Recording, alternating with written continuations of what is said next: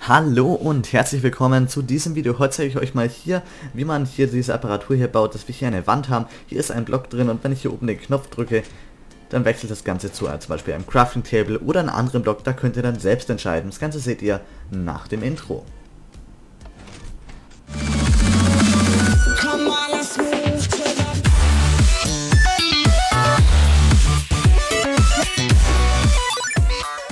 So, eure Grundfläche sollte 5 x 4 Blöcke sein und dann braucht ihr vorne noch eine Wand, die jeweils 5 x 4 Blöcke wieder groß ist und hier oben der Block kann weg. So, als allererstes suchen wir uns hier die Mitte, gehen davon einen Block nach hinten, danach kommt hier ein Pisten, der nach innen zeigt.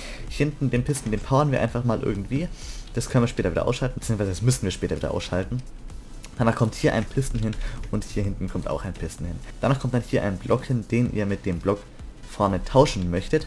Danach kommt hier oben drei Blöcke hin. Hier kommt jeweils Redstone drauf. Danach kommt hier einmal eine Fackel hin und hier kommt auch eine Fackel hin. So, dann den Block, den wir hier oben weggemacht haben, da kommt dann einmal ein Spender hin, dass der hier ein Block versetzt nach hinten ist. Darauf kommt ein Trichter, danach kommt hier ein Block hin, eine Halbstufe hier hin, ganz wichtig, es muss eine Halbstufe sein. Danach kommt hier jeweils wieder ein Block hin. So, dann kommt hier ein Comparator hin, hier kommt ein Repeater hin, da nehmen wir einmal das Signal hier weg mit dem Redstone.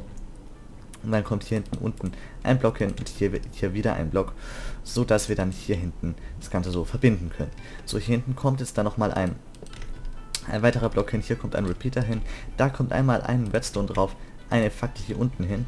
Und jetzt kommen wir halt auch darauf, wieso wir diesen ähm, Pisten hier unten bepowern mussten, denn wenn wir das Ganze jetzt nicht machen, dann äh, zieht es hier diesen Block ein.